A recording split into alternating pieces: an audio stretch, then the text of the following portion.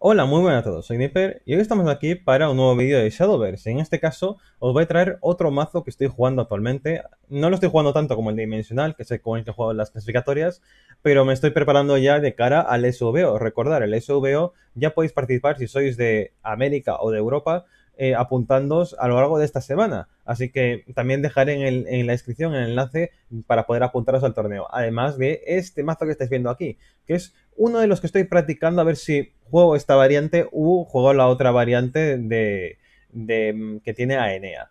Vamos a primero de todo hablar con este mazo que ya os digo, es muy eficiente, eh, te permite jugar de una forma agresiva y al mismo tiempo también en late con Chris, pues te acabas protegiendo de muchas amenazas y pues yo considero que está bastante bien en ese sentido, porque tiene muchas formas de ganar la partida. Pero vamos a desgranarlo poquito a poco. Como podéis ver, primero de todo vamos a centrarnos en lo que es la curva de mana. La curva de mana es esta que podemos ver aquí, que vemos que tiene muchísima presencia, prácticamente todo el mazo es de coste 4 o inferior. Y vemos unas poquitas cartas de coste 6, que eso es inaludible. Son las dos cartas legendarias que son Celeste y el Tirano. Y son cartas que sí o sí hacen falta no solo porque tengan última voluntad, tanto en forma de fragmento como, como, como combatientes, sino que tienen su funcionalidad importante de cara a lo que estamos viendo ahora mismo. Y eso lo vais a poder ver en la partida, en la toma de decisiones que tuve. Pero primero vamos a eso, a desgranar un poquito. ha vuelto este señor, el friki de los huesos, que se había retirado en el mazo antes del nerfeo porque era una... Bueno, antes del nerfeo y antes de la expansión. Porque era una carta que te quitaba un poquito las mecánicas alrededor de Gremory. Gremory se fue, por lo tanto, este es otro combatiente más que al estar en la mesa te facilita muchas cosas. Y obviamente él tiene un tía voluntad pero tiene también varias funciones, o sea, se puede preparar para jugar de varias maneras, ya que tiene su forma básica como un 1 1, que es un turno 1 muy importante porque te facilita los turnos iniciales bastante bien, es un cuerpo que cuando se rompe te da otro más, no te da sombras en ese momento porque él gasta una sombra para hacer esa función, pero eh, te está permitiendo tener varios combatientes en la mesa, que el primero de todos ya habría muerto con una voluntad. Y eso es una cosa muy, muy importante en este mazo. Vamos ahora con la siguiente de las cartas que estamos viendo aquí, que tenemos los dos hechizos que ya conocíamos. Este para poder robar y curarnos, ya que ahora mismo no tenemos las pesadillas en este mazo, pues esta es nuestra mecánica de cura, por así decirlo. Y también pues necesitamos robar porque va a necesitar meter en la mesa constantemente cosas y sacarle partido. Tenemos también a la resurrección, que mm, muy difícilmente vamos a, en este meta, que es un poquito rápido para lo que es este, esta carta en sí misma, y que ya no tenemos a la 2-2 de antes, que era tan, tan eficiente, pues... Eh, bueno, la podemos meter, pero mm, ya veréis que el cómputo final del mazo es más eficiente sin ella. ¿Por qué? Porque esta carta lo, importante es para poder matar uno de nuestros bichos, sobre todo el Lurching, que es el, el 1-2 que sale del amuleto del tirano funesto, y también eh, así lo matamos, ya que él solo puede chocar contra guardianes, y si no tienes un guardián delante, pues es un hueco muerto en la mesa. Lo podemos activar así, matamos a un bicho y le damos embestida a otro. ¿Que te sale el mismo? No pasa nada, tienes a un 4-2 que si te lo matan, eh, pues se le muere un bicho del rival. Y si no, pues es un 4-2 que está pegando constantemente. Así que le sacamos partido también ahí. Ya, si se cumplen todas las condiciones, pues entonces podemos clonar mucho en la mesa y robar varias cartas con esto. Al fin y al cabo, ya veis, dos hechizos, dos cartas de robo. Después tenemos esta adición que el Goblin Acorazado, yo estoy probándolo, por ahora me está saliendo bastante bien, sobre todo por la mecánica que vamos a ver con, con Ceres. Y yo considero que es algo que podéis modificar a placer en ese sentido. ¿Por qué? Porque es un 1-3 que no tiene otra función más que al morir activar una última voluntad y darle resistencia a otro combatiente. Cuando tengamos a Chris activo, tengan todos guardia, entonces eh, sacarás mucho más partido a ello. Pero más que nada es para completar algún turno, para tener otro bicho más en la mesa, pensar que el coste sale muy bien porque por 2 tenemos un bicho, por 4 tenemos 2 y por 6 tenemos 3 y encima los 3 adquieren una capacidad eh, de guardia, que eso... Eh, o bloquea un poquito la mesa de cara a que tus rivales pues, puedan hacer algo. Y al darle resistencia a tus combatientes, pues sacan más partido. En lugar de las dos dos que vimos antes, en la, antes de la expansión, pues he incorporado al esqueleto soñador, que es muy pero que muy bueno, ya que ahora mismo tenemos otras cartas que le podemos sacar partido a este mazo. Eh, entonces, es un 2-2, igual que el anterior, sigue proporcionando sombras al morir, no tantas como la otra, pero como no tenemos a morir, las sombras de verdad no importa alcanzar cierta cantidad tan exagerada como había antes. Lo que sí, la moto le podemos sacar mucho partido en late, ya que tenemos, voy a saltar directamente a esa carta, esta de aquí, la Nigromante de la, cadena, que es una incorporación a este mazo que, como podéis estar leyendo en la descripción, si 10 o más cartas con última voluntad han, muerto durante la partida, gana más 2 más 2 y asalto. O sea, se vuelve un 5-5. Si tienes un punto de evolución, es un 7-7. Si se monta una moto, tiene 9 ataque. Y eso es importantísimo no solo por el hecho de que puede pegar a la cabeza del rival tan salvaje, sino de que podemos incluso tirarle el hechizo de Ceres cuando la, evolución, cuando la evolucionamos, nos da el hechizo este que es el deseo inmoral. Eh, el deseo inmoral lo que hace es que dos combatientes que tengas en tu mano, el primero que eliges, el ataque que tiene al morir se lo hace a la cabeza del rival, y el segundo, la defensa que tiene al morir es lo que te cura la cabeza. Entonces, ahí le podemos sacar mucho partido a ese combatiente que ya es muy agresivo de por sí, es un 5-5 si cumple la condición, que ya de por sí es un 3-3 por 3 que roba carta al morir y por lo tanto tiene un, de voluntad, pero aquí ya le sacamos mucho partido alrededor de lo que es Ceres.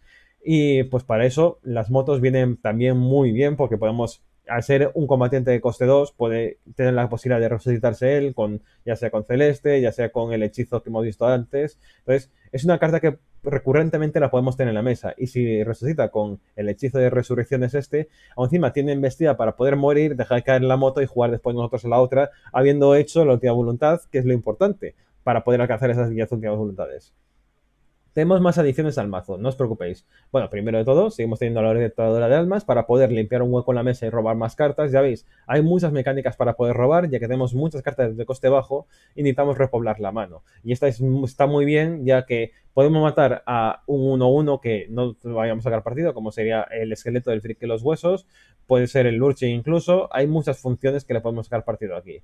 Entonces, ella es esencial porque por dos estás matando algo y robando cartas al mismo tiempo de que te quitas encima un problema que tuvieras ahí que no le puedes sacar partido. O incluso si te tiran habilidades, como por ejemplo, hay muy contadas veces la gente te puede jugar clerical, que hay una carta que cuando la juegan los combatientes al final del turno pues te pegan a la cabeza. Si el Ruching no lo puedes matar, es una forma de que también te pueda pegar a la cabeza.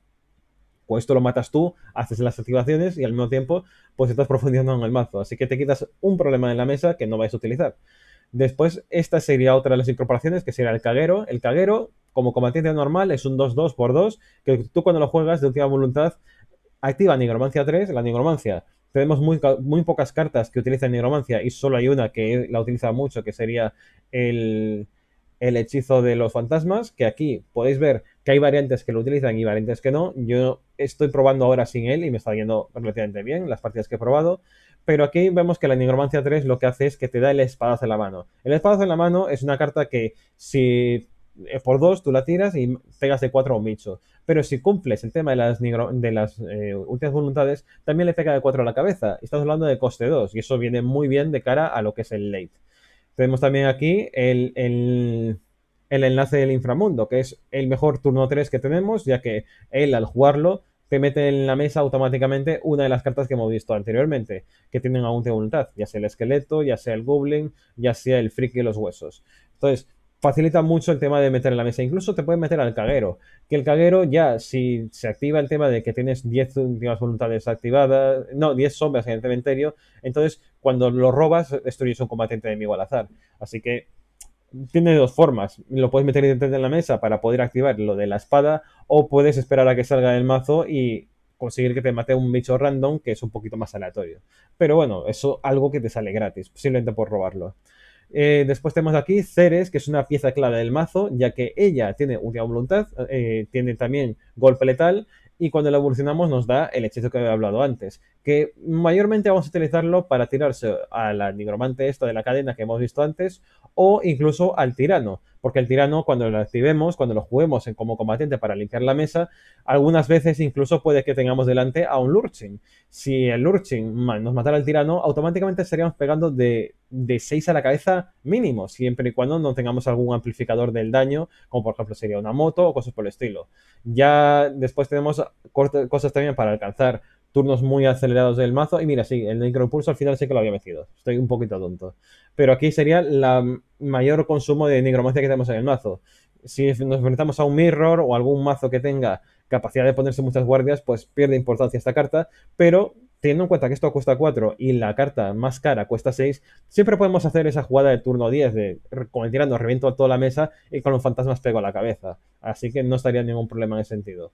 Y lo que os decía, esta es una carta también muy importante de cara al late game de la partida, ya que tenemos a Christoph, el cual eh, tú vas a tener muchas eh, últimas voluntades activadas, sí o sí, en este, en este mazo. Entonces, va a ser muy fácil de que lo vayas a cargar y puedas meter el muro de Berlín. Todos esos combatientes van a crecer. Y ahí es donde entra mayor importancia aún del hechizo que hemos visto de Ceres anteriormente, ya que si un bicho ha crecido, eh, la activación del daño que hace, el primero que le ha dado la habilidad, se activa eh, con el daño que tenga al morir. O sea, si un bicho está creciendo y tiene la habilidad de ser expuesta, es cada vez más grande el golpe que va a pegar a la cabeza del rival.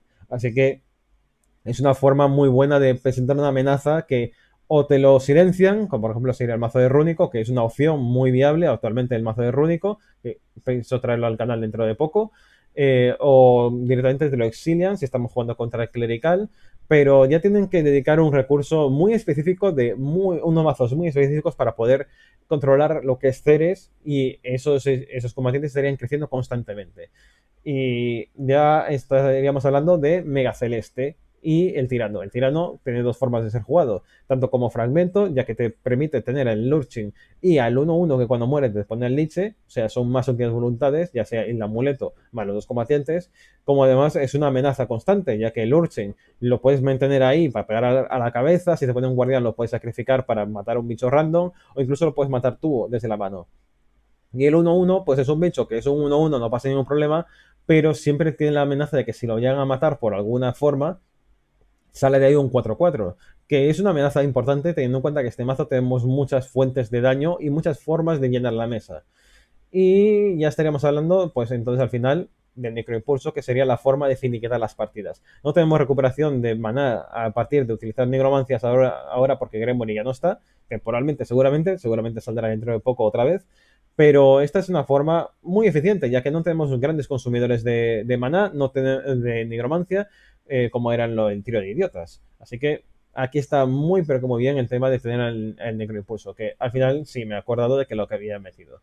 Todo este mazo, recordad, va a estar en la descripción del vídeo, así que no os preocupéis por ello. Y ahora voy a hacer una pequeñísima transición a eh, Shadowverse, aquí está, donde os voy a mostrar una partida en la cual se ve un poquito todo esto que os he estado hablando. Veis que no he crecido mucho en puntos, pues porque he estado practicando alguna cosa y también porque tengo poco tiempo para dedicarle a lo que es el ordenador.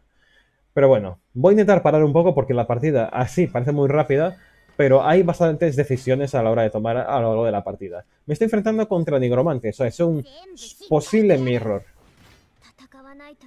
Y ahora vamos a ver lo que tenemos aquí. Primero, mano inicial veis que tengo estas cartas y ¿qué me voy a quitar? Pues me quito al caguero. El caguero no lo necesito porque tengo ya el esqueleto. El esqueleto ya es mi turno 2, es mejor turno 2 que él y siempre cabe una posibilidad de robarte otra carta ya que tengo muchas cartas de coste bajo en este mazo. Y teniendo en cuenta que tengo el esqueleto asegurado, incluso las cartas que pueden matarlo a él o cartas de robo, pues saldría eficiente. Y tengo ya Ceres, que es una de las mecánicas de victoria de este mazo. Encima me ha tocado el Friki los Huesos, que es una de las mejores cartas para empezar esta partida. Vemos que nuestro rival también tiene la misma suerte, así que vamos a hacer Mirror. Pero como nosotros vamos segundos, tenemos la posibilidad de innovar un poquito a nuestro rival. Nuestro rival tiene que jugar autoplay. Juega al, al Friki, después juega el fragmento este. Voy a jugar otro combatiente, como por ejemplo el esqueleto. Yo prefiero jugarlo a él, igual al Tiriano, porque ya tengo a. Teniendo a puedo jugar un poquito más alrededor de ello. La partida todos sabemos de que se va a alargar. Entonces ahí yo tengo la capacidad de visión. Aquí vemos que el turno 3 podría jugar a Celes, pero teniendo en cuenta que voy segundo, ¿para qué hacerlo ahora? Vamos a robar, tengo ya el turno 4 asegurado, que sería la dorada esa, y vamos a profundizar en el mazo. Me recupero la vida que me ha quitado, al mismo tiempo de que sigo robando. Y ya veis que tengo una mano muy buena de cara a los turnos siguientes, porque hay muchas formas de tener cartas, manos útiles ahora mismo. Esa carta de coste 3 lo que me indica es que necesita robar y va a tener mucha mesa. Está pensando alrededor de Christopher. Vale, jugamos esta, que es la carta más eficiente de este turno. Tenemos muchas evoluciones, así que no tenemos prisa de jugar a Ceres.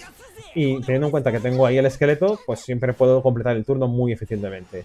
Siguiente turno es el turno 5 y tenemos muchas cartas jugables. Y vemos que nuestro rival ya empieza a tener que recuperar un poquito la mesa. Tiene 14 de vida, y yo tengo la ventaja de que he gastado la primera evolución.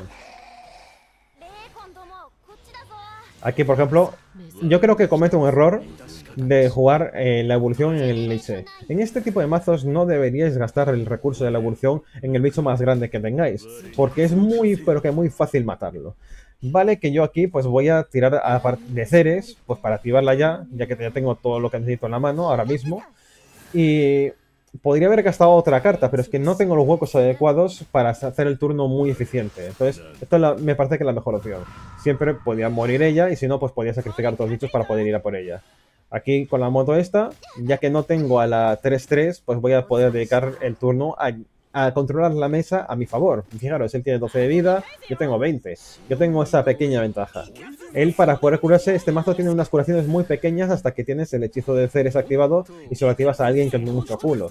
Así que pensar eso, de que hay que jugar con eso a nuestro favor. El esqueleto veis que es un esqueleto gigante. Pero no tengo prisa ninguna, ya tengo el hechizo en la mano, ya está activado. Eh, vamos a seguir controlando la mesa. Tengo 17 de vida, así que tengo todo el tiempo del mundo. Y ya fijaros que ya tengo muchísimas de las activaciones.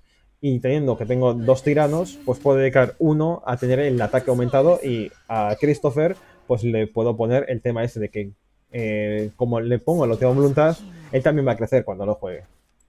Y aquí voy a hacer una pequeña pausa porque él ya activa su Christopher. Esto llena muchísimo la mesa de mucha fuerza, pero no hay ningún problema ya que ya tengo aquí a los tiranos.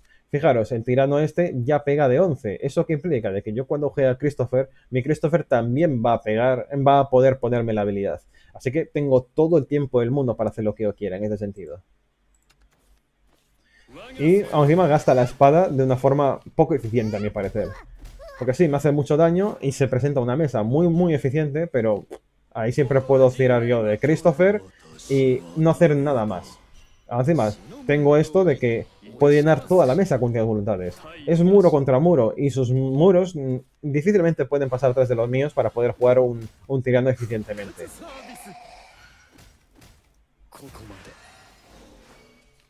Y encima yo tengo dos espadas, que eso me viene estupendísimo contra mi rival.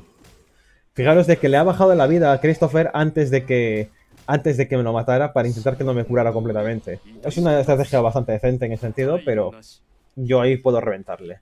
Y aquí viene la jugada que veo yo más eficiente de todas. Fijaros, he jugado al tirano. El tirano lo que ha hecho es limpiarle toda la mesa. No, no había ningún Lurchen que pudiera matarme a ninguno de mis bichos. Eh, sigo teniendo el esqueleto que va a crecer más todavía. Y fijaros, tiene 16 de vida. Le voy a pegar de 3. Eh, este cuando muera va a hacerle mucho daño. ¿Cuál es la mejor opción? Pues jugar de fragmento a celeste. ¿Por qué? Cuando la jugamos de fragmento, hace que las curaciones se reduzcan a uno. O sea, aunque se pudiera curar, porque activara él también una algún tipo de curación que tenga por ahí escondida, que puede haberla incluso alguna carta Tates que te pueda curar, eh, no podría, porque yo le estoy limitando esa curación durante muchos turnos. Aparte, fijaros, son dos turnazos en los cuales no puedo hacer nada en el tema de curaciones más que de uno en uno. Y ahí yo tengo toda la ventaja. Tengo dos espadas y tengo a este que va a crecer. Ahí veis que está todo alrededor de poder potenciar más todavía esa jugabilidad. Tengo pocos bichos en mesa, pero no pasa nada porque tengo otro tirano en la mano para poder limpiar en caso de que haya algún problema.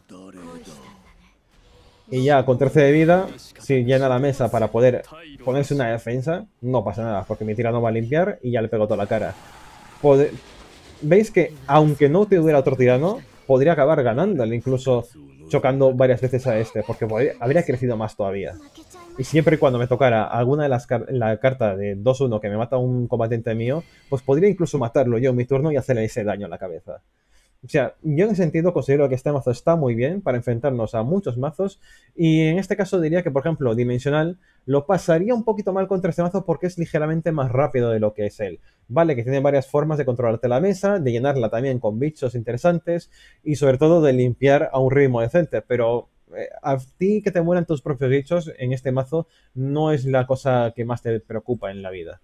Eh, entonces, yo considero que este mazo es una muy buena opción. A ver, que se cambie la pantalla es una muy buena opción para poder jugar alrededor de este mesa que se ha formado ahora mismo, en el cual Negromante pues tiene varias vertientes. Está Rúnico también muy triunfante ahora mismo, el mazo de Rúnico de que controla la mesa, Dracónico, a ver si me lo monto y, lo juego, porque hay varias vertientes del mazo de Dracónico. Hay uno de evoluciones que está bastante bien, que se ha jugado en Japón y ha tenido muy buenos resultados.